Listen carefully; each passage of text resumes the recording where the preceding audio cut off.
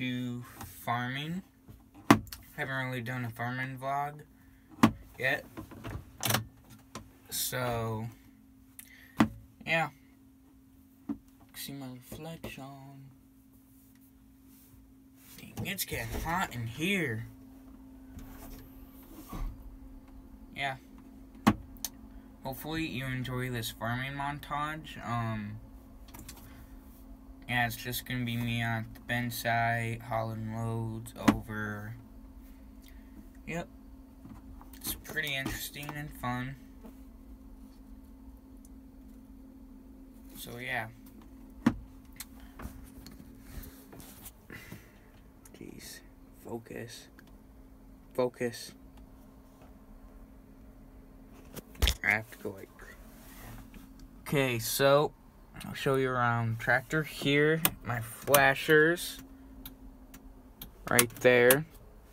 My lights. Right here. My windshield wiper for this. Turn this windshield wiper on for this. Bugs are coming in.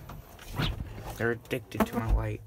Here is how much fuel I have oil pressure, water temp,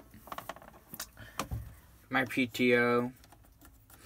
I also use this tractor to haul manure, so not a shovel, if you guys were wondering. I don't use a wheelbarrow and a shovel. Here's my radio. Talk. Um, this radio sucks in here. Just tell you yeah, here's the key. This, yeah, the chem, my school's game was on. So yeah, gear shift. So I'll get back.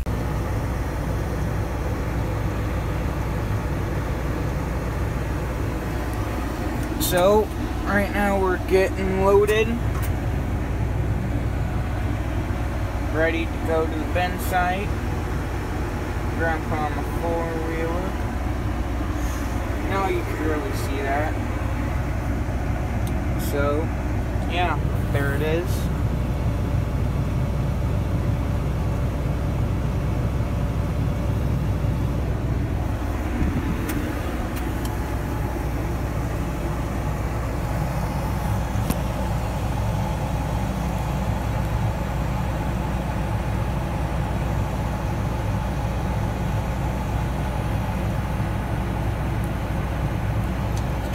air off.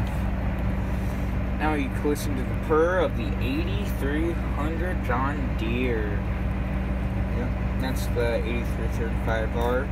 These are Brent 744s. That's a Brent grain cart 782. Yeah. Capacity of uh, like 38,000 pounds, I believe. Yeah, 38,000, but you can make it go up to 40 if you want to, which we feel at maximum.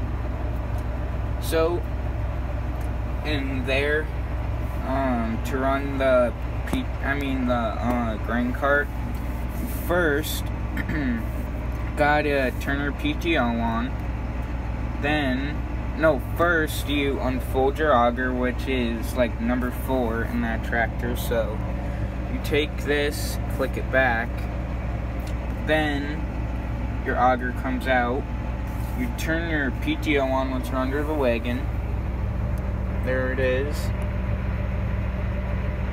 what a beautiful sight. I like farming, if you guys don't know that.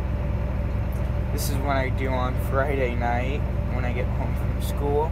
Come out to the farm, so, yep.